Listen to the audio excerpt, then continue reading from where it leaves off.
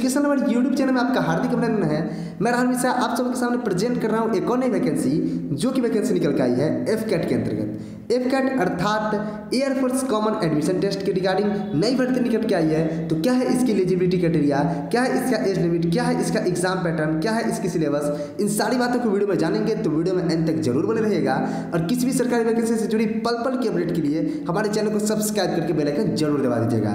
तो आइए friends video को करते हैं स्टार्ट तो फ्रेंड्स इस समय मैं आ चुका हूँ इंडिया की नंबर वन सरकारी वैकेंसी की रिगार्डिंग ट्रस्टेड साइट सरकारी रिज़ल्ट पे। अब यहाँ पे नीचे इसको स्क्रॉल करूँ और लेटेस्ट जॉब वाले सेक्शन में देखूँ तो यहाँ पे हमें टॉप पर शो हो रहा होगा Indian Air Force AF CAT zero two twenty twenty two online form यहाँ पे आपके टॉप पर शो हो रहा है। अब अगर इसको टैप करते हैं तो टैप करने पर हमारा एक नया विंडो खुलकर आता है, जिसमें यहाँ पर आपको दिख पा रहा है कि name of the post name of the post क्या है? तो join Indian Air Force AF CAT entry zero two twenty twenty two आपका नेम ऑफ़ द पोस्ट है। पोस्टेड डेट है आपका उन्नीस जुलाई 2022 ठीक है?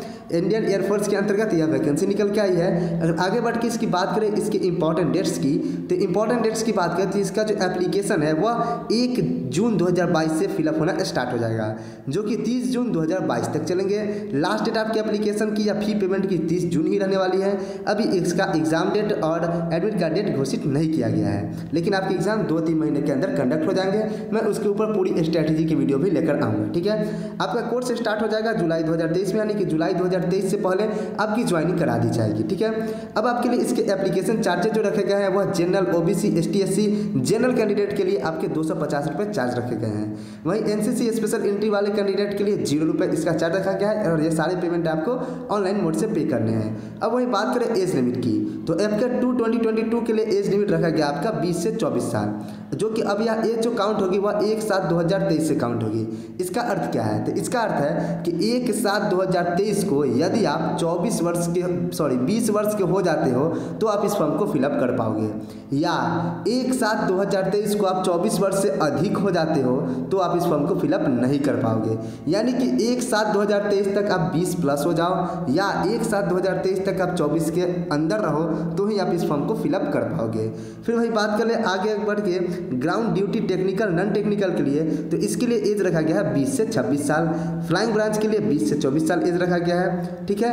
अब आगे बढ़ के बात करें पोस्ट डिटेल्स की।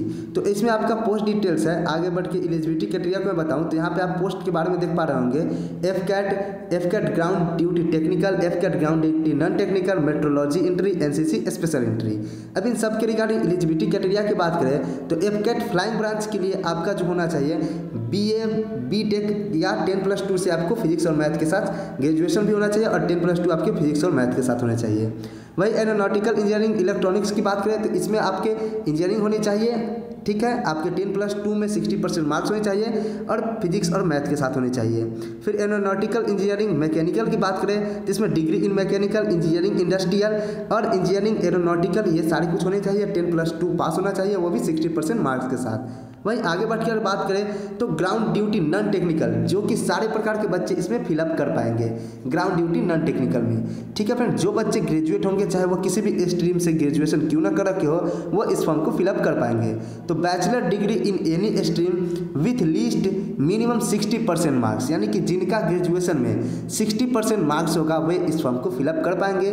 और फ़िज़िकल क्राइटेरिया की बात करें तो हाइट एक सौ सत्तावन सेंटीमीटर मेल की और फीमेल की एक सौ बावन सेंटीमीटर मांगे गए हैं। वहीं आपके नॉन टेक्निकल में अकाउंट्स ब्रांच के लिए बीकॉम आपका होना चाहिए ग्रेजुएशन में, ठीक है? सिक्सटी परसेंट मार्क्स के साथ तो आप इसके लिए फिलअप कर पाएँगे फॉर्म वहीं एनसीसी स्पेशल एंट्री की बात करें तो फ्लाइंग ब्रांच के लिए NCC air wings senior division C certificate and other details पर फ्लाइंग ब्रांच एलिजिबिलिटी वो होनी चाहिए। तो आप इस फ्लाइंग ब्रांच के लिए एनसीसी की तरफ़ से आप पार्टिसिपेट कर पाएँगे। वहीं मेट्रोलॉजिकल एंट्री के लिए फॉर एलिजिबिलिटी क्राइटेरिया इसके लिए आप नोटिफिकेशन को पढ़ सकते हैं, जो कि नोटिफिकेशन आपको यहाँ पे दे रखा है। जिसको मैं टेलीग्राम पे भी अवेलेबल करवा दूँगा, यहाँ पे आप डाउनलोड नोटिफिकेशन करके सारी चीज़ों को पढ़ सकते हैं। और यह जो नोटिफिकेशन यानी अप्लाई ऑनलाइन का लिंक है, वह स्टार्ट होगा आपके एक छः दो हज़ार बाईस से आपका अप्लाई का लिंक स्टार्ट होगा। यानी कि एक जून 2022 से अप्लाई कर सकेंगे आप, जितने भी योग्य उम्मीदवार हैं, ठीक है? अब सिलेबस की बात करें तो सिलेबस पे मैं एक अलग से वीडियो लेकर आऊँगा और स्ट्रेटजी की एक अलग से वीडियो लेकर आऊँगा कि कैसे क्रैक करें। बहुत ही आसान होता है एफकेट के एग्ज़ाम को क्रैक करना। मैं स्ट्रेटजी बताऊँगा, उस तरह से आप करोगे तो निश्चित ही आपका एफकेट क्रैक हो जाएगा। तो फिर सही थी पूरी जानकारी जो कि मैं आपको देना चाहता था, जो कि मैं उम्मीद करता हूँ कि दे पाया। तो फिर वीडियो कैसे लगी कमेंट में ज़रूर बताइएगा और किसी भी सरकारी वैकेंसी से जुड़ी पल पल की अपडेट के लिए हमारे चैनल को सब्सक्राइब करके बेलाइकन ज़रूर दबा लीजिएगा। तो मिलते हैं अपने नेक्स्ट वीडियो में तब तक के लिए जय हिंद जय भारत वंदे मातरम।